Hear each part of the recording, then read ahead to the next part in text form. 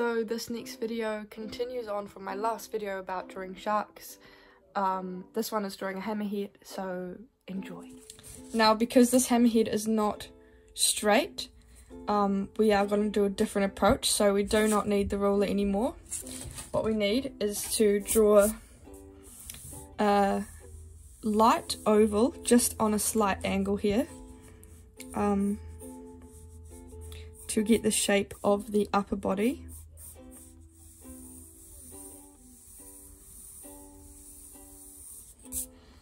Cool, and then we're going to do a long oval here, skinnier than that. Overlapping. And also another tiny little circle here. Cool, so that's a start. Now for the hammer part of the head, we're going to draw another oval here. Um, this oval doesn't get any wider than that or else it'll look disproportionate, so just keep in mind how big that is.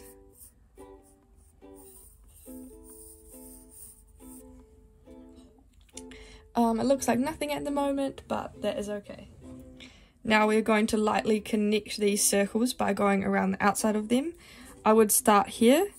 Don't go perfectly to them, just connect them. So as you can see, there's a gap in here. Um, this is just to get the right shape. I will come in here slightly because that's a bend. And around up to here and around the outside of this.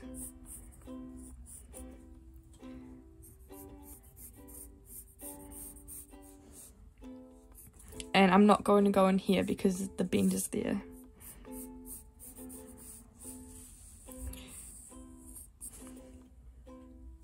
Now we can draw a fin. So hammerheads just have slightly bigger fins than the other sharks we've done.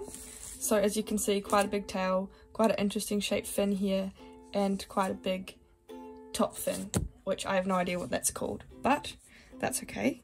So I'm going to start that almost in this near the bend of the shark here just not too big but just big enough we can always change it down just a simple triangle slightly shorter and slightly bent on this side now for the other fin um, it comes down here so this is a different shape to the triangle so we're going to start with a little line on an angle overlapping the body and then straight down and then curved it back up to about here. Sorry, that's my dog. Cool, now for, an, there's a smaller fin on the back of the tail here, so again, longer on this side towards the head and shorter on the back. And two underneath here. One here, one about there. Now, I don't actually know where they're properly placed, but it looks pretty good. Now for the final tail, I'm just going to make this bit a lot thinner so then we can connect the two pieces of the tail here. I'm going to go quite big on this part of the tail and cut back in on an angle and again same on the bottom but just a bit shorter. Cool, so there's our base. Now I'm going to erase the small lines in the inside and add the final details. Now up here at the face, I'm going to draw a line just cutting into here. And again, just curve this a little bit out a bit more just to make it a little bit thinner. That way it doesn't look like it's just attached. It's kind of a part of the body. And also just square off this one a little bit more because it's a little bit round for my liking.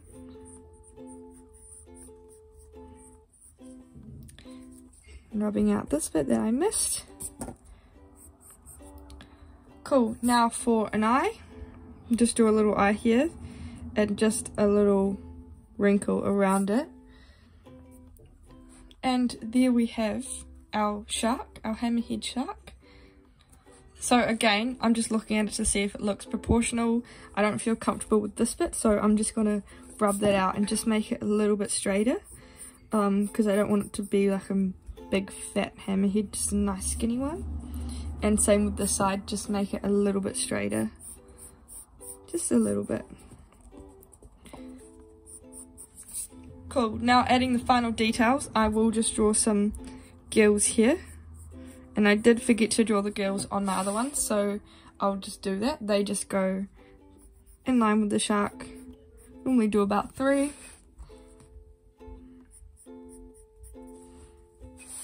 Just adds a little bit more detail. And again, just a little light line. This one doesn't go through the middle, just more over the lower bit and underneath the fin so we can make that bit lighter when we draw it. When we colour it in, I mean, not drawing. So here we have our three sharks. One, two, three. I'm going to colour them in with watercolours. Um, I'll show you how I do that. Um, if you don't have watercolours then just simply colour them in with pencil. Um, and yes, if you have any questions or anything, let me know. Um, I hope you enjoyed this video and yes, keep watching if you have watercolours. The thing I like with color watercolour pencils is that you can colour them in quite messily and painting with water over them really just smooths them out and makes them look awesome. Just be careful with what paper you use because sometimes it can get quite crinkled but if not you can always try it and see how it works. Now, I don't actually know if you're supposed to do the outline first or not, but I just do so then I can get rid of all the pencil markings before I start. Now with watercolours, I'm going to use um, kind of just a blue on top and then kind of go down to a light blue slash grey at the bottom. So all I'm going to do is just lightly, not lightly, but just roughly colour the top half in and the bottom half in and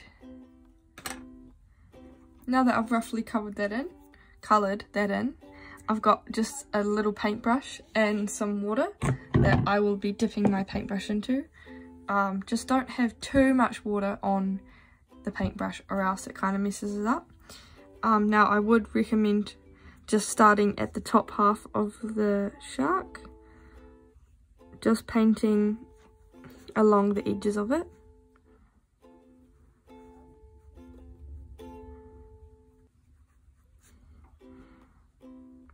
The dark blue bit first.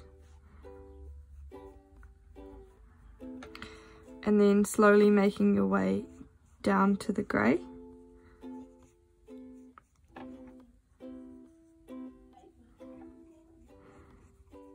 And bringing the grey up to the blue. So then you can still get some grey in there.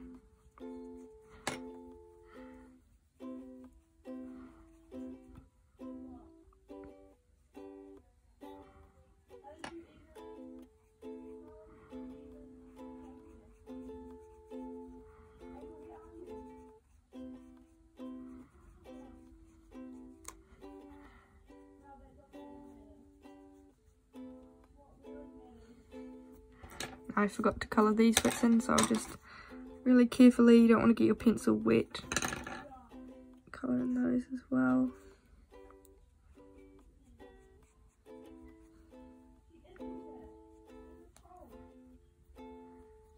And there we have it.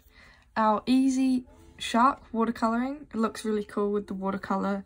Um, when it dries, I will colour this bit in black because I forgot and do some little teeth um, but while it's wet I don't really want to touch it.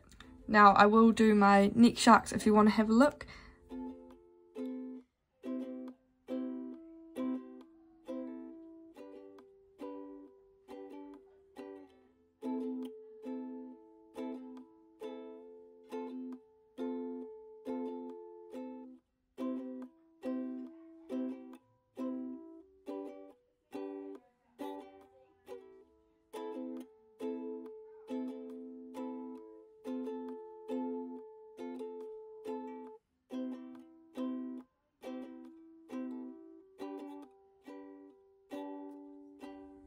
And there we have it, our three sharks. I just did some funky dots around them to make them look like they're underwater. But yeah, I hope you enjoyed and let me know what you would like to draw next with Drawing with Jo.